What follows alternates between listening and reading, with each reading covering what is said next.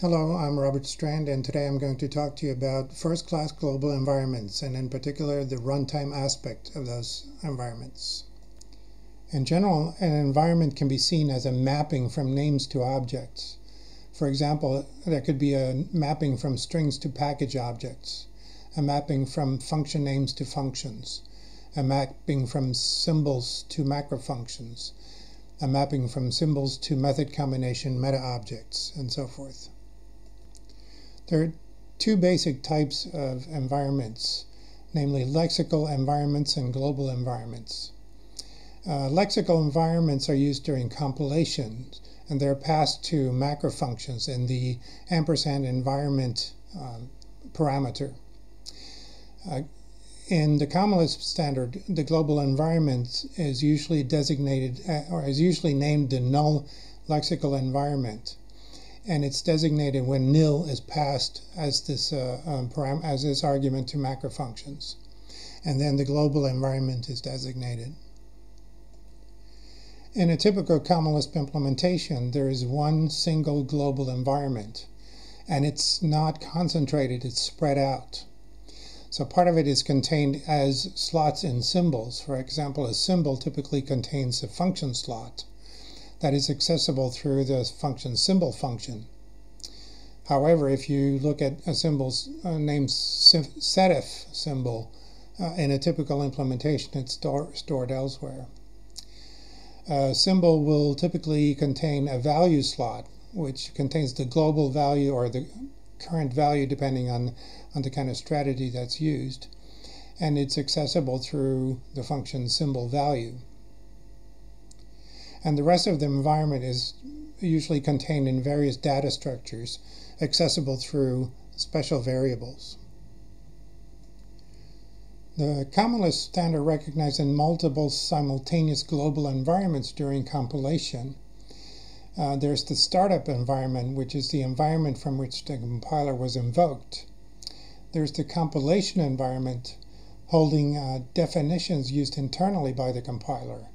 And this is the environment passed to macrofunctions as the standard requires.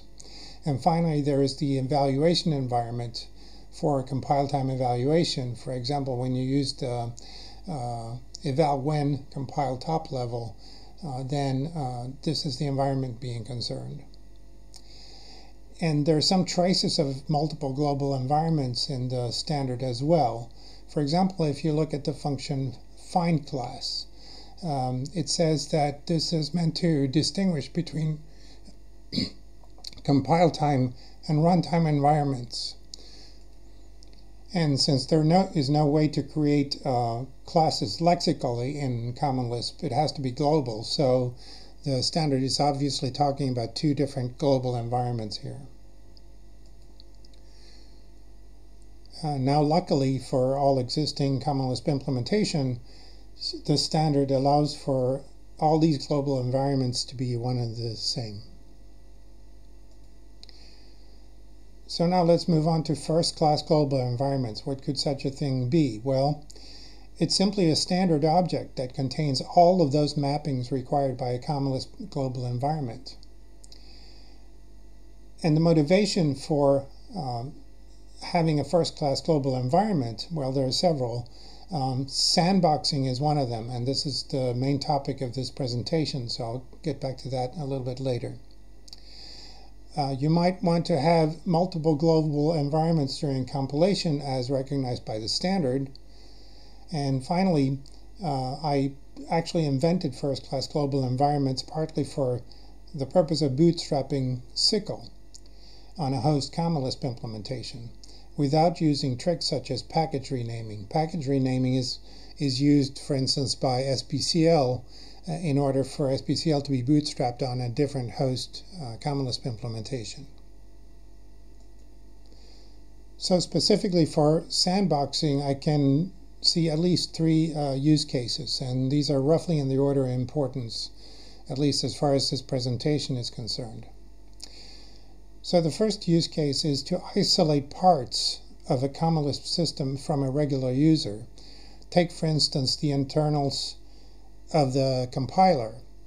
We would not want to, for it to be possible to download a, a system from QuickLisp that could then in, insert a Trojan horse in the code generator of the compiler.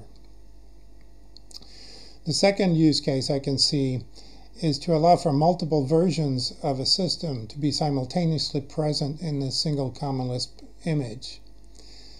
Uh, for example, there could be a conflict between uh, external systems. A user might want to install two systems, let's call them A and B, but A and B both use system C but require different versions of the system C. So sandboxing solves this problem by putting A and B in separate first-class global environments. And each of these systems can then have a separate version of the system C in it. The main functionality that the user might want from systems A and B can then be imported to the current work environment of the user without the functionality of C being even visible there, so there's no conflict between the different uh, versions of C. And the third use case is to expose a subset of Common Lisp.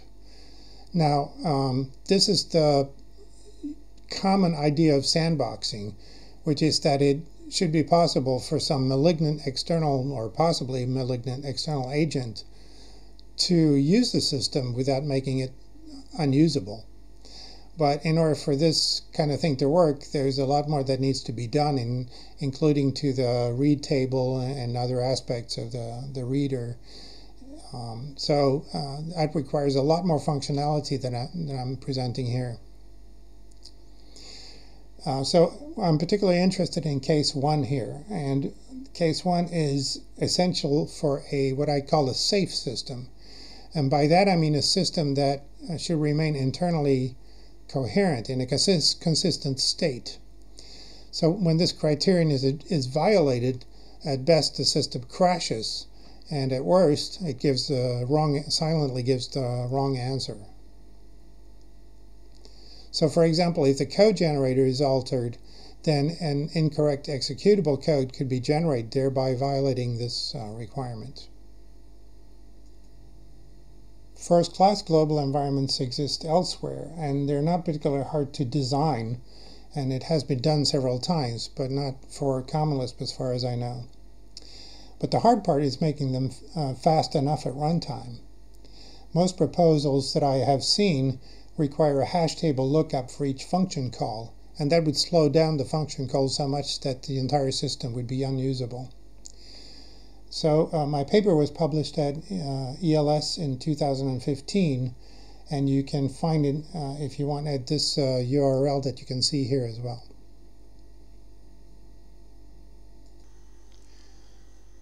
So rather than going into the details of the protocol to access um, first-class global environments, I'm just going to show you the, the particular aspect that makes it fast enough at runtime and I'll show it to you uh, by using an example.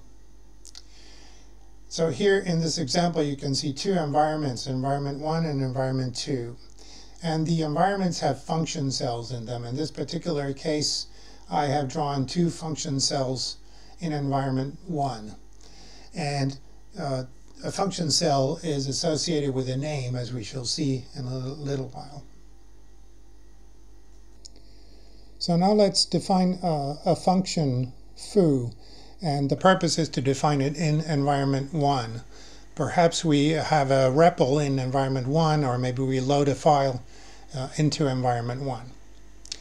As you can see, this function foo contains uh, two literals, namely the string hello and, the and then the list AB.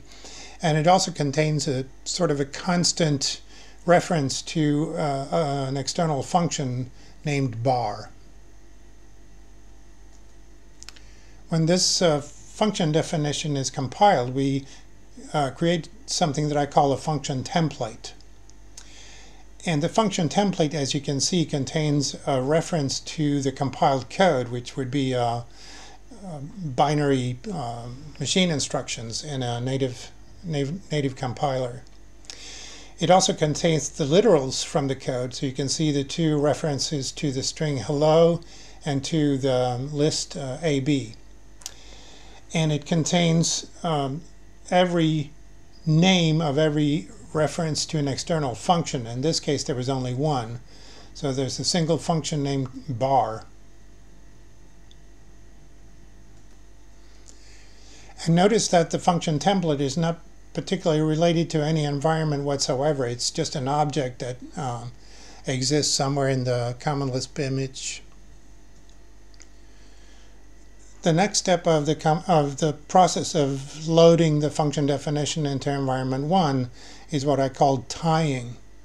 So when we tie the uh, function template to environment 1, what that means is we replace or we create a function object and the difference between the function object and the function template is that the function names of the template are replaced by references to function cells in the environment uh, in the function object. So in other words, a function is tied to an environment whenever its external references are relative to a particular first-class environment. So in this case, the reference to the function bar uh, is uh, refers to the function cell in environment 1. And also notice that this tying process has nothing to do with making the function available in the environment. There's no reference from the environment to the function object. All references are from the function object to the environment because they are uh, replacements for the function names that are used in the function foo and that are uh, function names to be called from the function foo. Uh, now, in this case, as you can see, the function cell bar uh, is empty. It doesn't contain, well, it actually contains uh, a function already, which when invoked signals an error. Um, so uh, if the if we uh, tie this function foo to environment 1 and refers to a function a bar that does not uh, exist, a new function cell is created uh, for that, func uh, for that uh, function bar. And it's filled with, uh, like I said, uh, a default function that will signal an error in, if it's invoked.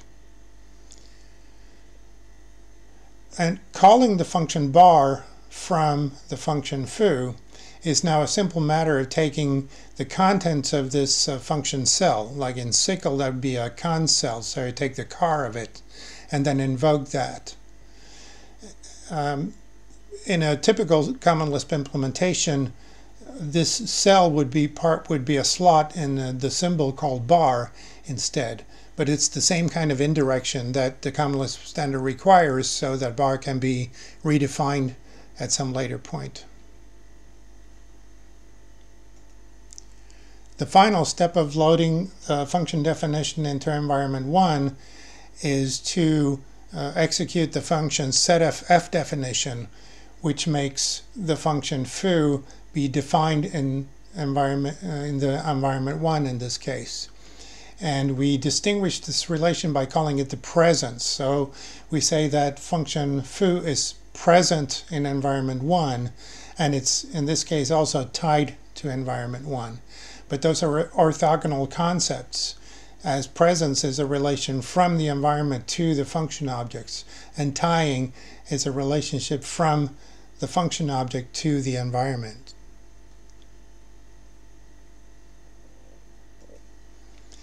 At some later point, we might, we might define the function bar and load it into environment 1, in which case it becomes present in environment 1, as we can see here.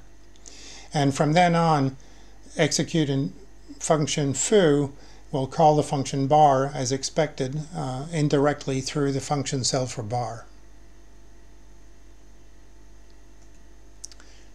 And the last thing I need to show now in order to uh, explain how uh, sandboxing works is to show you how we can fill the function cell of a different environment, in this um, case environment 2, with a reference to the function foo, and it can even have a different name here called baz.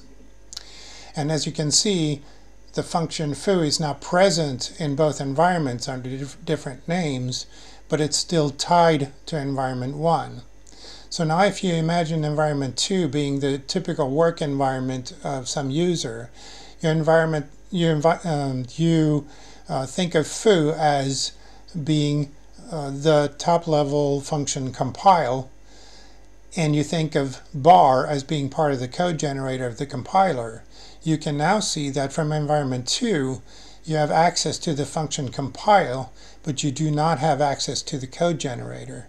So this is what I mean by um, sandboxing in that from environment 2, you cannot easily see the internals uh, of the compiler, so you cannot alter them in any way. And that's all I had to say. So I hope this presentation explains how first-class global environments work. And thank you so much for listening.